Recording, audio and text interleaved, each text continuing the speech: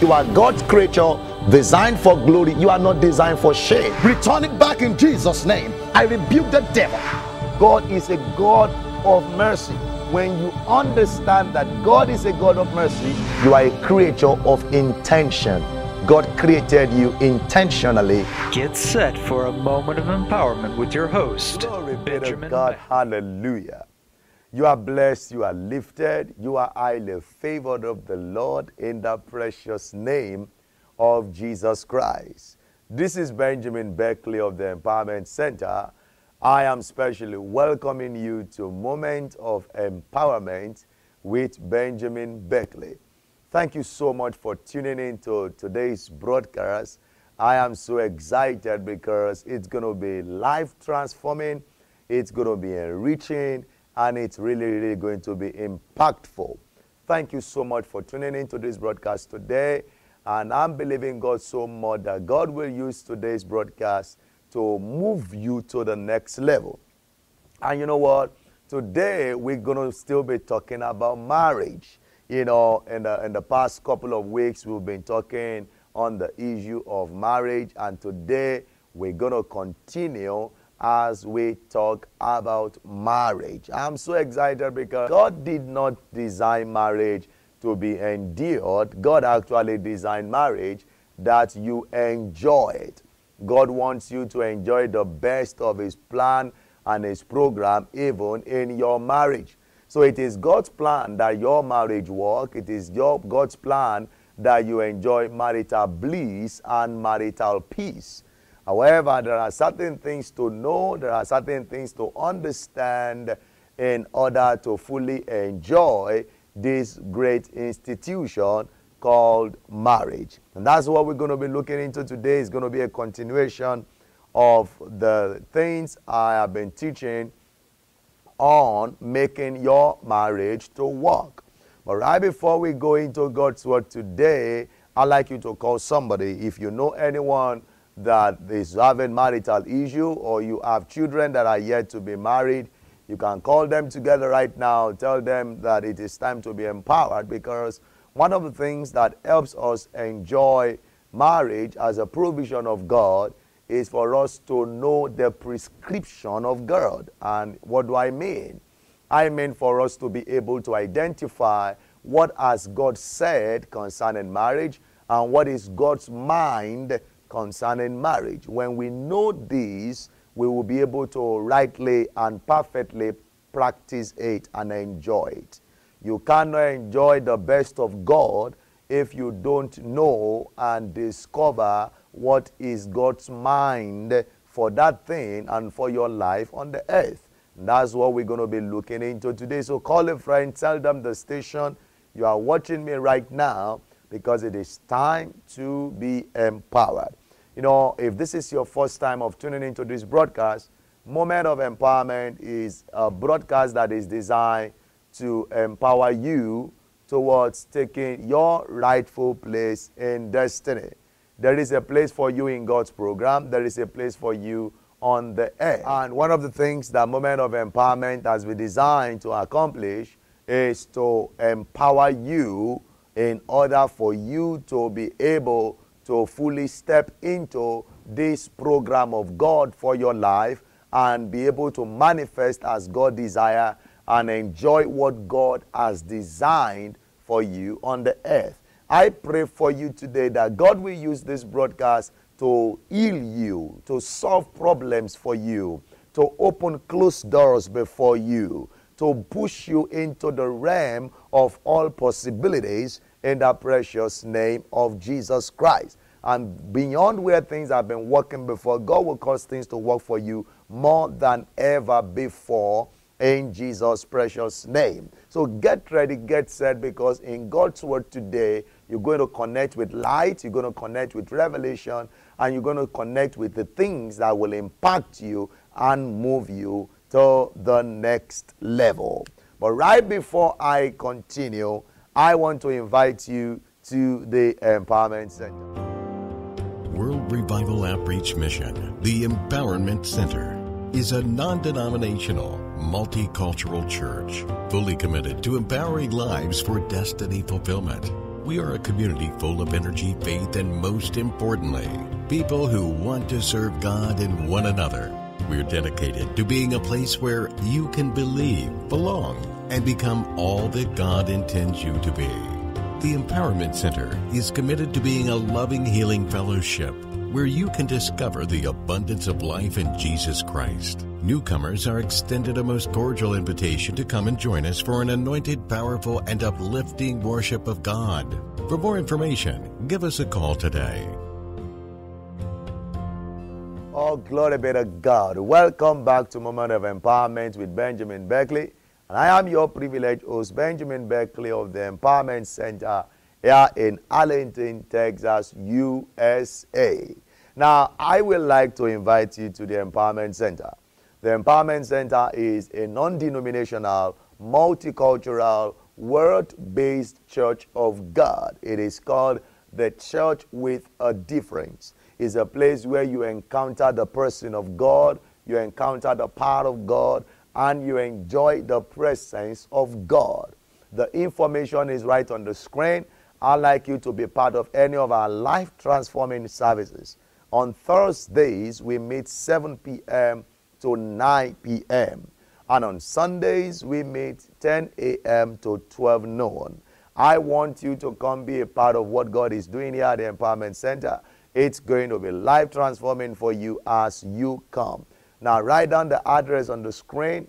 And if you need more information or you need prayers, call the number on the screen. We are passionate about praying for you, and we are so much uh, uh, committed to ensuring that you enjoy the best of God in the land of the living. So call the number on the screen, and in case you are watching this broadcast outside of uh, our, our Metroplex, I want you can be part of our services by joining our live uh, services. You can watch our services live on our website. If you go on the website on the screen, the information is on the screen where you can watch our life transforming services. We also are privileged to have a 24 hours uh, uh, television platform where you can be watching all our services and watch all our videos, and that will be a great blessing to you as you do so in Jesus' name. We are also privileged you can watch and listen to our service on the radio. We have a 24 hours internet radio that is called the Empowerment Praying Radio. All our services are transmitted live on the radio. Write down the website, go on the website, and I want you to be listening to the services, listening to prayers that will turn situation around for you in the precious name of Jesus. All right, now let's go into God's word today. Uh, uh, uh I'm going to continue the teaching series that I started some couple of weeks ago on making your marriage work. And this is going to be part three making your marriage to work. And the whole thing about this teaching series is to be able to reposition your marriage to the next level, to be able to open the eyes of our understanding on what is God's mind concerning marriage and also how can we make our marriages better as well as being able to heal every hurting home or marriages that is passing through difficulty. Now, in the past episode of this in this series, we have discovered that marriage is essentially God's intention. Marriage is not man's invention. Marriage is God's idea. And if it is God's idea, we will need God's idea as well, as well as His insight and instruction to make it work. And one of the things we have discovered is that to make our marriages work, we need wisdom. And that was why I started by unveiling some things I have called wisdom senses. We've looked into some couple of them. Uh, let me just share some with you for those that are just watching this for the first time. We have discovered that uh, marriage is designed to work. Marriage is designed to work. No marriage is set up to fail. When you understand that, you will realize that all I need is to discover how to make it work. And we discovered also that every marriage that will work is a function of our action, our reaction, and our intention. Those three things plays pivotal role in the success or the failure of any marriage. Now, we realize further that if we make our marriages work, we must be able to properly handle conflict. We also must be able to properly handle what I call the three F's. I talked about the family, I talked about finances, and I did talk about friend. Now, in case you missed, uh, I've talked about it in two different broadcasts. If you missed any of that broadcast, just go to our website. The website is on the screen. And when you get there, you click on Watch Rebroadcast, Watch TV Rebroadcast.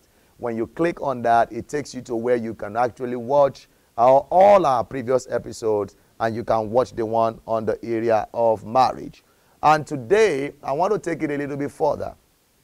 And I'm, today, I'm going to be really digging into uh, what I call seven C's for enjoying marital bliss, or we can call it seven C's for making our marriages to work. And I want you to understand, like I said over and over again, that marriage is designed to work. Marriage is God's plan. And we saw from scripture that the plan of God is good. Jeremiah chapter 29 verse 11, Bible says, For I know the thoughts that I think towards you. Another version call it, I know the plan that I have for you. The Bible says it is the thoughts of peace and not of evil to give you an expected end. So it is very evident from this text of the scripture that what God has or what God thinks or the mind of God for our marriages is good. God wants you to enjoy marriage. God wants your marriage to prosper. God wants your marriage to work the thought of God for your home is good. However, if we will enjoy this goodness, there are certain things we need to embrace. There are certain things we need to stop doing. There are certain things we need to start doing. And there are certain things we need to do more. So that is what I've called the C's are like universal laws that will help any marriage to work if these things are embraced and actually worked on. Like I've said, no marriage will work without it being worked upon. So let's take our time to look into these things that I've called seven, seven C's that can actually help our marriage. Number one is what I call connection. Number one of this C is connection. One of the things, one of the reasons why God actually created marriage is for it to be able to be connected together. Two people connected together. That's why the Bible says, and the man shall leave his father and mother and be connected be cleaving. That is what it means. So marriage is about living and cleaving. Genesis chapter 2, verse 24. Therefore, a man shall leave his father and his mother and shall cleave unto his wife. That is connection. And they shall become one flesh. So they are connected. Any marriage where you don't see connection, it's a risky game. It's almost breaking down. Because what marriage is supposed to do is to really bring us together. So if we are not enjoying real connection in our marriages, that means there are certain things to work on. There are certain things to work on to make it work better. You must understand that how connected you are as marital partners influences how peaceful your life will be. Connection is actually the core that builds marital union. You, have, you need the cord of connection. You need to be connected as spouse. So marriage works and it works better where there is connection. So that means we need to deal with anything that tampers with our ability to connect together. Now, on the issue of connection, I realize that there are, there are two dimensions of connection we have to embrace in marriage. Number one is what I call upward connection. And what does that mean? That is talking about the connection with God. The more connected you are with God, the more peaceful you will, the more peace you will enjoy in life. The more connected you are with God in your marriage and as, as, as marital partners, the more joy you experience in your marriage. You know why? Because the Bible says, in the presence of God, there is fullness of joy.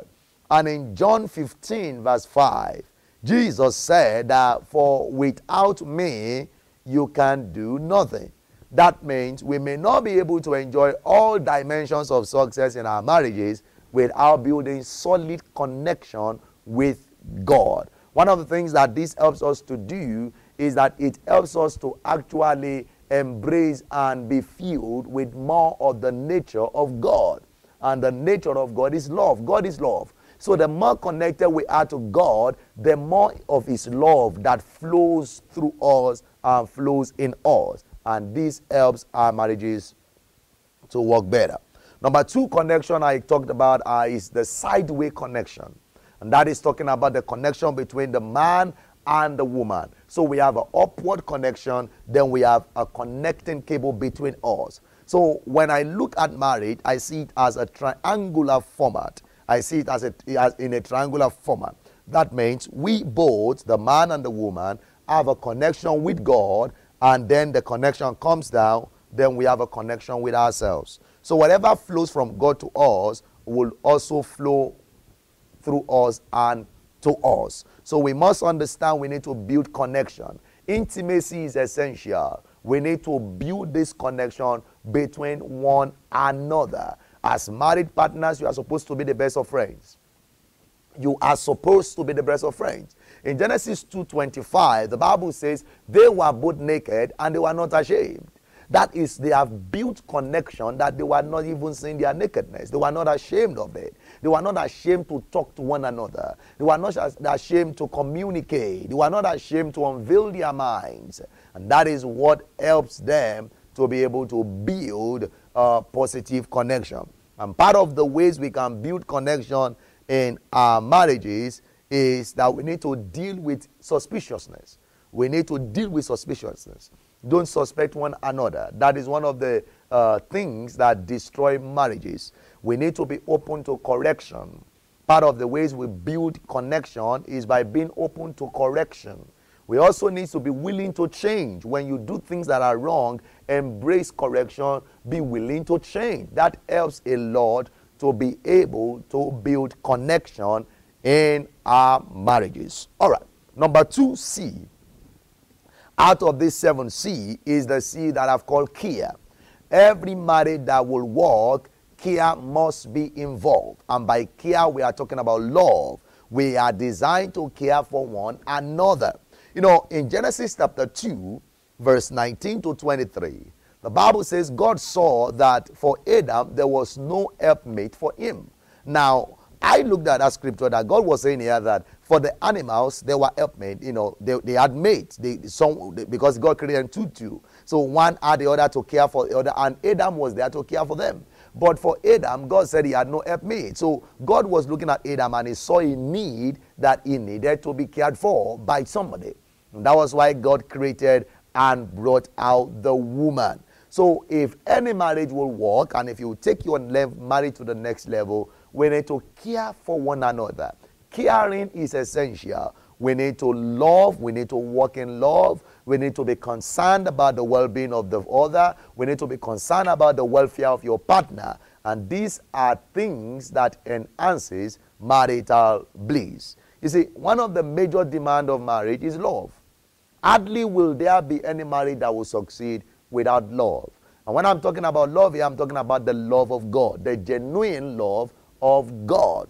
In Ephesians chapter 5, verse 25, Ephesians 5 25, Bible says, Husbands, love your wives. How? Even as Christ also loved the church and gave himself for it. So God is placing a demand on husband to love their wife. And not just even the husband now. Bible also enjoins us to love one another. But there is a mighty responsibility and a demand on the man to love, and there is a demand on the woman to submit. When we embrace these things by caring for one another, it helps our marriages and it moves our marriages to the next level. Number three of this C is character. The C of the C, the third one is character. Hardly will any marriage last long without good character. Actually, it is character is like what determines the longevity of any relationship if there is no good character, uh, relationships will not last. So, to make marriages work, we need to embrace good character. Marriage is designed to succeed, but character can make it to fail. I mean, lack of good character can make it to fail. So character is like the sum total of who you are and the sum total of what you do. To make our marriages work, therefore, we must work on our attitudes, we must work on our behavior, and embrace good behavior that can help our marriages and move our marriages forward. Now, one of the questions I always want married partners, I mean, marital partners to ask themselves is this What you are doing to your spouse, if she will be the one doing it to you, will you accept it? You know, that's the test of our attitude. So we need to test our attitude to see the one that is wrong and be able to bring it out and remove it from there. Some of the things that causes conflict in marriages is just traceable to character. If you are not willing to change who you are, your character, or embrace good attitude, you will definitely affect your marriage negatively. So, to enjoy marriage, marital bliss, and to make our marriages work, we need to embrace good character. We need to be patient, we need to be humble, we need to be respectful. In home, respect must be reciprocal. When you respect your spouse, you must also respect your spouse in return. There are things to deal with. You need to deal with anger. You need to deal with pride. You need to deal with anger. We also need to be able to discipline our tongue. Because if you don't watch what you say, what you say can affect the whole of the joy and the peace that you have in the home. And I want you to understand the Bible has given us some of the things that we can embrace called the fruit of the Spirit in order to enjoy marital bliss in Galatians chapter 5, verse 22 and 20, verse 22 to 24. The Bible says, But the fruit of the Spirit is love, joy, peace, long suffering, gentleness, goodness, faith, meekness, temperance, and against these things there is no law. So we must understand that these things helps our marriages to work. I pray for you today that every home that is passing through difficulty, because of character deformity and issue, the Lord will step in. Grace to change will be released upon your home in the precious name of Jesus Christ. Now, I will be right back. And once I'm back, I'm just going to conclude on this. I might not be able to finish all the seven today, but I'm going to continue in the next broadcast as we continue on this series, making your marriages to work. I will be right back.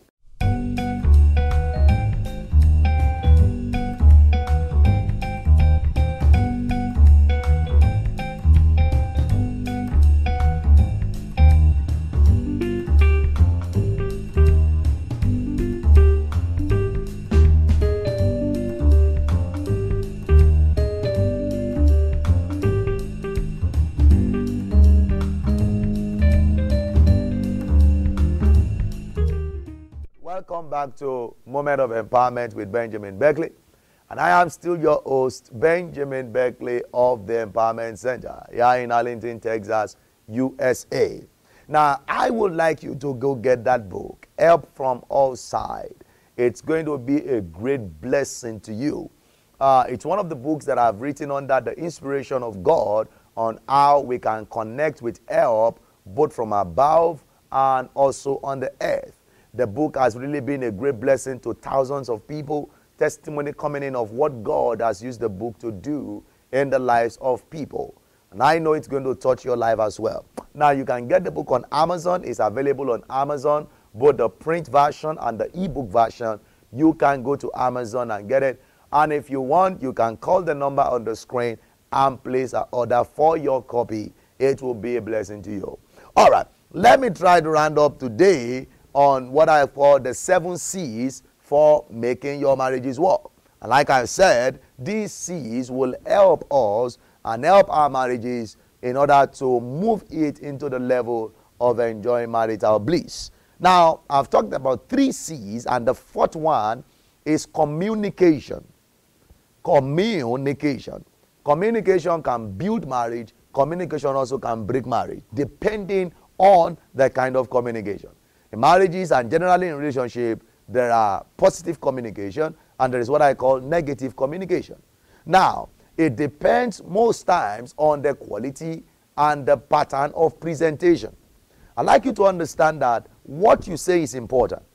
Also, more important is how you say it. And also, as part of it, is when you say it. we must understand that relationship rides on communication. Our ability to communicate rightly will position our marriages and our relationship to the next level.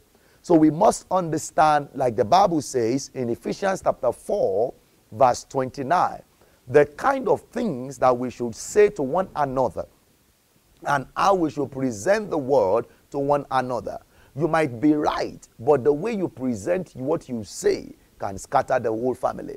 Now, Ephesians 4:29, the Bible says, "Let no corrupt communication proceed out of your mouth." So, whatever can corrupt, whatever can defile, you have to watch your word.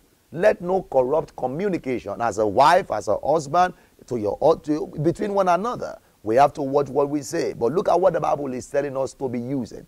It said, But that which is good to the use of edifying, that he may minister grace unto the hearers. So God is telling us here that there are certain things that can help our marriages to work in the area of communication. Let your word not be corrupt, but let your word be good. Let your word be able to edify. It should not defile the person, but it should edify. It should not bring down the person, but it should edify. So even when you are presenting your issue or communicating, we must be able to choose the right word to use. We must be able to mind what you say, when you say it, also how you say it. And in my own word, I have concluded that we have to always think before we speak. Because when you think before you speak, you'll be able to use good words and also words that might be edifying. Avoid being judgmental in your presentation. Avoid words of condemnation.